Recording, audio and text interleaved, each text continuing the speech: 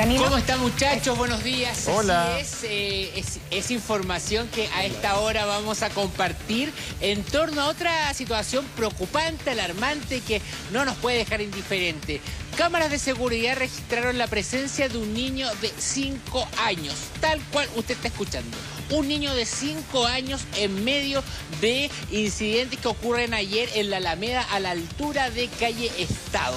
Es ahí en donde eh, se realizan barricadas, se lanzan algunos elementos contra carabineros y en medio de todas estas protestas protagonizadas por encapuchados aparece un pequeño, un niño que llama la atención de las cámaras de vigilancia de carabineros en primer lugar por el tamaño justamente de esta persona, un niño de 5 años que a todas luces se trata de un menor de edad y es ahí cuando se comienza a hacer el seguimiento de este niño quien está participando justamente de los elementos que van eh, dándole forma a esta eh, barricada y también participa de distintos eh, elementos que se lanzan a fuerzas a la policía. Es en ese escenario cuando ya la atención se centra en este niño y lo comienzan a hacer para saber con quién estaba, por qué estaba ahí, a qué se debía su participación en estos incidentes y es de esa manera como eh, a través de este seguimiento se logra llegar a la madre de este niño de 5 años que participaba de estos incidentes, reiteramos, en Alameda con calle Estado. Es así, de esta manera como Carabineros presenta ahí una denuncia por vulneración de derechos y todo esto queda a disposición del tercer juzgado de familia. Quedó citada esta madre, una madre que tenía 11 detenciones y que también, aparte de estas detenciones que tenía, eh, había participado constantemente también en todo tipo de manifestaciones. Pero aquí lo principal es que cómo puede ser que este niño de 5 años, un pequeño que se cansa de ver claramente en las imágenes, esté participando de este tipo de manifestaciones. Hagamos un alto ahí. Siempre las manifestaciones tienen riesgos. Un niño de 5 años pasa cualquier cosa, no se puede defender. Y primero, eh, vulnerando además todos los derechos del niño, porque un niño que no debería haber estado ahí, debería haber estado en el colegio, no sé. Pero 11, tú dijiste que tenía 11 detenciones la mamá. La madre tiene varias detenciones. Ahí voy a corroborar el dato, pero estamos hablando de varias detenciones justamente eh, en torno también a su participación en este tipo de manifestaciones, Ya. Carlita. Y se sabe, eh, no sé, eh, algo que haya declarado de ella, por qué está ahí, por qué lleva al hijo. O sea, no sé, saber qué- cuál es la, la- la opinión de ella, su versión. Claro, mira, la información que se maneja al respecto es que cuando Carabineros logra dar con la identidad de la madre, porque le- ya la, la atención se centró en este niño para saber con quién andaba, hacia dónde iba, eh, Sí. quién lo acompañaba, porque un niño de 5 años no llega solo a una manifestación a, a participar de la instalación de barricadas en el centro de Santiago, es cuando se llega a esta madre y así se, a- se comprueba finalmente que es ella la que eh, lo lleva al lugar. Se desconoce qué habrá declarado eh, esta mujer.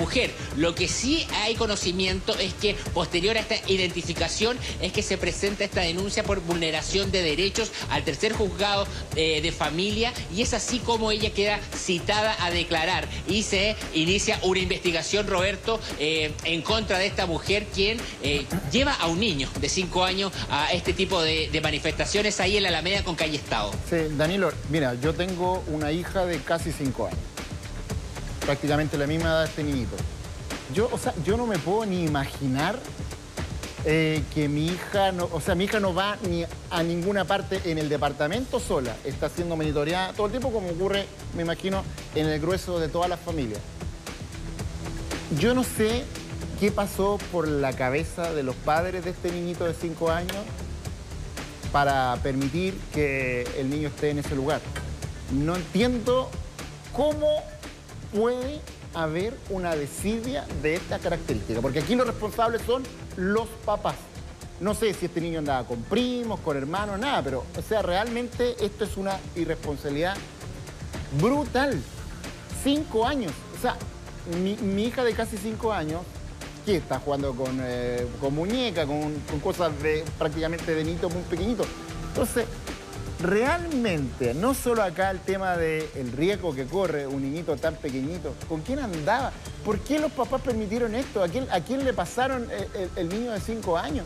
Es que ¿En mira- qué mundo viven esos papás? bueno, uno se puede armar como eh, una, una idea. O sea, si Danilo dice que han sido detenidos por otro tipo de manifestación, ¿ok? Supongamos que ella trabaja por ahí, que anda con los hijos, pero no te vayas a meter a una manifestación. Lo primero es el cuidado y protección de los niños. Si en una manifestación puede pasar cualquier cosa. Entonces, ¿qué pasa con la escolaridad de ese niño? ¿Qué pasa con la seguridad de ese niño? Puedo preguntar, sí. perdón, que sea impertinente, ¿ah? eh, ¿por qué estaba manifestándose la señora? ¿Danilo? Mira, eh, estas manifestaciones son las que ocurren habitualmente eh, en el centro de Santiago, en la Alameda, y justamente quienes, por ejemplo, utilizan la aplicación del metro podrán darse cuenta que todos los días prácticamente uno recibe una alerta donde le dice Estación Santa Lucía, Estación Católica, se encuentra cerrada, sin acceso, eh, debido a manifestaciones en el exterior. Son situaciones que ocurren común. Sí, no, José, antes de darte el pase para, para hacer súper justo con la información, muy, muy, breve. Lo que pasa es que confundí ahí una información sobre la cantidad de detenciones. Ah, no se maneja con exactitud el número, ah, pero sí la madre del niño cuenta con detenciones previas por riña y atentado contra la autoridad. Esa es la información que mm. existe, que está confirmada en torno a la madre de este niño. Lo que yo pregunto, lo que lo pregunto porque no lo sé, y lo pregunto porque me parece que hay que empezar a hablar las cosas como las cosas son y no como queremos que sean. Entonces, la manifestación, bueno, cuando uno se manifiesta, que es un derecho humano que uno tiene en una democracia libre, uno va y concurre a una marcha o a una movilización buscando algo.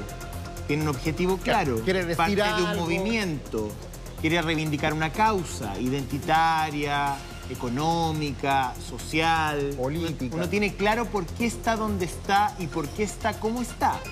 Cuando una persona va a una marcha y se desnuda, se desnuda por alguna razón. Cuando uno va a una marcha y lleva un pañuelo verde, rojo, morado, ese pañuelo tiene un, significado. Entonces, dejemos, por favor, creo, y ustedes no están de acuerdo conmigo, los respeto y podemos tener ese debate, de llamar marcha a cualquier grupo de personas que se pone sobre la calle y que levanta cualquier tipo de consigna que es incoherente con el lugar, el momento. Porque eso no es una marcha, es un desorden. Esto fue una barricada, podemos decir. Entonces, la señora no estaba marchando, hasta donde sé, porque si tú me dices que fue a una marcha feminista o estaba pidiendo algo en particular o era parte de un colectivo que estaba avanzando por la Alameda, no, no es eso. Hasta donde yo sé, ahora, si, si fue así, les pido que por favor me entreguen los datos, pues yo, yo lo que veo es un grupo de delincuentes haciendo desórdenes en la calle. No, no veo una marcha, no veo, eh, digamos, para que volvamos al orden lógico de las cosas, que desde un tiempo a esta parte, desde hace bastante tiempo ya, eh, digamos, o sea, a los perros le decimos gato, a los gatos perros, las mesas no son mesas, ahora son sillas, las sillas son autos, los autos son palmeras. No, pues. No podemos permitir que un grupo pequeño se apropie del relato. No sé si me explico. Sí, eso Eso no es una marcha. A, no ser que la señora no estaba ahí y estaba en otro lugar y llegó a una marcha. Cuando uno va en, otros países que a tanto les gusta a los amigos compararse con países donde efectivamente hay una democracia mucho más perfecta que la nuestra, porque la, la nuestra es muy imperfecta y en eso yo no me pierdo. Pero uno tiene más o menos claro qué hace ese grupo de personas en el centro de París, en el centro de Sao Paulo. Eh, es una convocatoria amplia, autorizada o no autorizada. No me voy a meter con el tema de la autorización pública porque hay muchos, muchos grupos identitarios que tienen que luchar contra un sistema muy opresor. O sea, a veces se, se autoconvocan. Pero con un, con, un, con un mensaje contundente, consistente, claro, y que a veces lamentablemente pasa de lo pacífico a la violencia. Pero grupos de personas que se reúnen una y otra vez sin un objetivo claro, sin un objetivo claro, a, no ser que lo haya, yo no lo estoy entendiendo, que puede ser, porque soy bastante torpe intelectualmente. A lo mejor no estoy entendiendo a estas personas. Pero fue una marcha. No, lo que yo veo ahí es un, un desastre y llevaron a un niño. Me parece una insensatez me parece una insensatez pero brutal, no tiene ni pie ni cabeza. Irresponsabilidad. Una irresponsabilidad y a esa mujer que por favor la contacten las autoridades y vean en qué condiciones está de cuidar ese niño, punto. Demasiado buenismo, demasiado buenismo, perdónalo. haciendo esa diferencia, Danilo, que es una barricada, lo que vemos a todas luces con las imágenes, es que solo, me- solo para hacer un punto, eh, han habido muchas marchas en donde son temas más familiares. Por ejemplo, cuando se quería sacar la ley Ricarte Soto, eh, ciertas manifestaciones que tienen que ver con ciertas causas en donde efectivamente se convoca a la familia. Eso es una cosa. Y el derecho a manifestarse, como dice José, pero esto claramente es delincuencia y una barricada. Se está interrumpiendo el tránsito eh, y ahí había un niño. Eso es, ahí había un niño en el lugar donde no tiene que estar.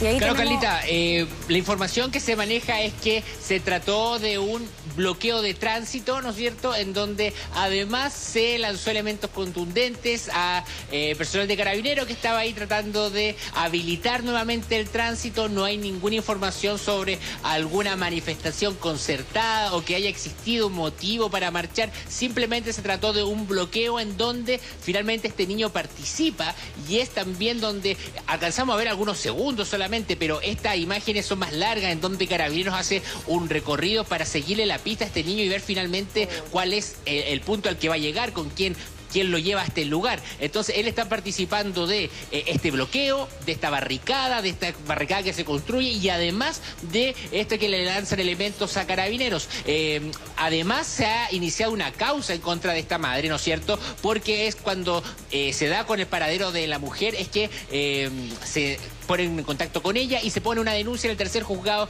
de familia por vulneración de derechos y ahora ella está a la espera de la citación de fiscalía porque va a tener que declarar y hay una causa que se inicia en su contra eh, por todo esto que estamos conversando, en donde este pequeño está ahí en medio de cualquier peligro, o sea... Cuando uno anda por el centro, cuando hay este tipo de eh, bloqueo, ni siquiera marcha, estas manifestaciones o simplemente una barricada, uno anda con temor, uno anda con los cinco sentidos alerta, que no me vaya a llegar una piedra, que no me vaya a pasar algo, quizás voy a cortar camino. Entonces, en medio de toda esa situación, hay un niño que está expuesto a cualquier tipo de peligro. Bueno, hay que esperar entonces eh, toda la investigación, pero bueno, uno ve esta imagen, se aprieta la guata. eh, ¿Cuántas veces tal vez han estado niños y no lo hemos visto? Tengo entendido que había un Twitter que, que íbamos a compartir, ¿o no? JP, Pili? La Defensoría de la Niñez Sí. dijo algo, ¿no? No, no ha dicho nada todavía. No ha dicho no. nada. la- Pero, Pero, obviamente ocurrió esto ayer. No, porque esto evidentemente viola la libertad de los niños, niñas y adolescentes. También, digamos. No sé. Libertad, derecho. Yo, es que yo no sé cómo estamos discutiendo esto. O sea, no, no es una crítica a la, a esta, a la discusión que estamos teniendo acá. Es una, es una crítica a lo que estamos viendo. Me parece de una incivilidad terrible.